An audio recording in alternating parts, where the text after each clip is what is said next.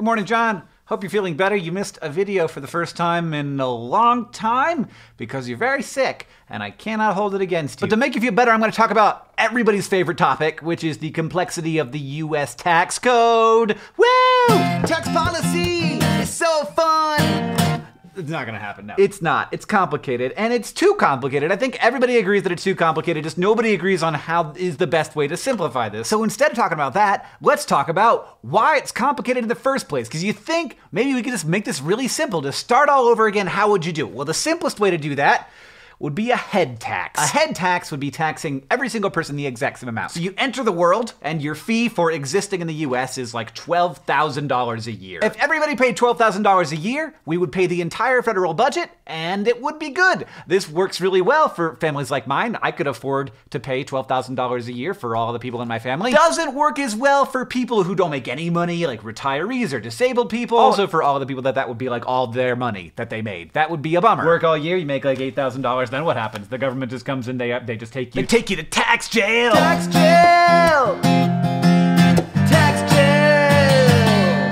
So a head tax, that's not going to work. So instead, let's tax people's income. If you don't make any money, you don't pay anything. If you make a lot of money, you pay a bunch. For a flat tax to work on individual human income, you got to pay, get ready for it, a 50% flat tax. A little bit more than that, actually. Every single person has to send half the money that they make to the government. And this sounds wrong, right? Because nobody pays 50% taxes. Well, it turns out we're missing something because when I was talking about taxing the amount of money that people make, we gotta examine the definition of money uh, and of people and of make. All those words. Because getting money is just one way to receive value. And if we only taxed money, then everybody would get paid in like diamonds or gold or something. So we have to tax value. So if I give you a car in exchange for doing work for me, that's still income and we still tax that. The US tax code doesn't actually tax money, it taxes value. This is really important when part of somebody's payment might be stock in a company. Now we gotta examine what is a person? Because it turns out a lot of the money in the US isn't made by flesh and blood human things. It's made by these non meat people called corporations. So now it's time to talk about corporate tax. Currently, most corporations in the US are taxed just as if they were people. So, I own businesses. If at the end of the year one of my businesses has more money in its bank account than it had at the beginning of the year, that difference is taxed as if it is my money because it is. I control that corporation, I control the money, and so I pay the exact same taxes on it that I would if it was just my money. That's how it works right now. That's not how the Republicans in Congress want it to work. They want people like me, if I have money that's getting made by my corporation, to pay like way less tax on that. I don't know why, because it's still income to me, but I guess I don't. I.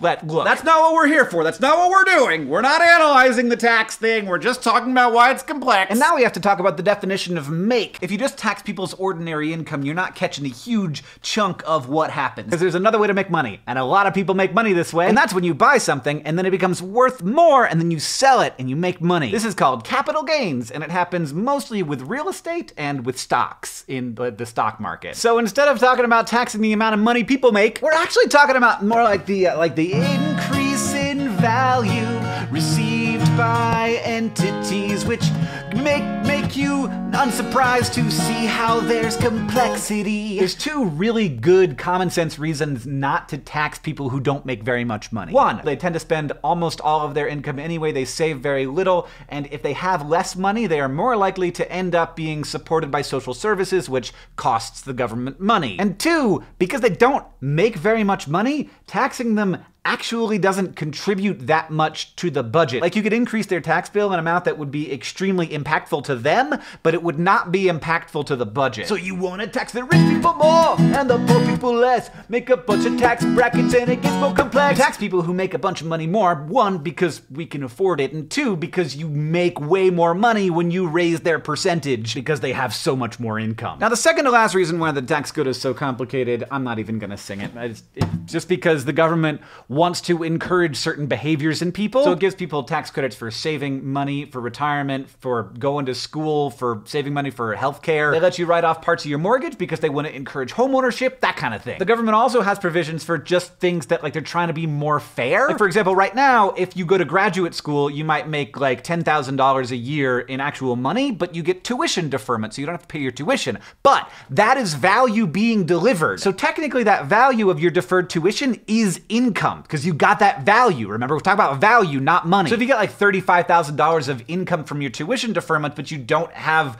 any actual income, that's a huge burden for graduate students. So that is not counted as income. That's part of the tax code. At least at the moment. But again, we're not talking about what they're planning on doing in Congress right now. That's not this discussion. Finally, the last reason why taxes are so complicated is rich douchebags avoiding their taxes, so we've got to make up lots of rules to keep them paying their taxes. Every time I come across something really annoying in my like business tax stuff, I'm like, why is this rule even here? And then I realize it's because somebody was using some underhanded little thing to avoid paying their taxes, and the government had to create a new rule. Thanks so much. I'm so glad you didn't have to pay those $10,000 so that now everybody in the world has to deal with this new rule. Taxes are complicated. I don't like it. Nobody likes it. Everyone would like there to be a simpler system. But I do worry when people are talking about simplifying it because every change to the US tax code has real impacts on real people. And ultimately, if you want one reason why it's so complicated,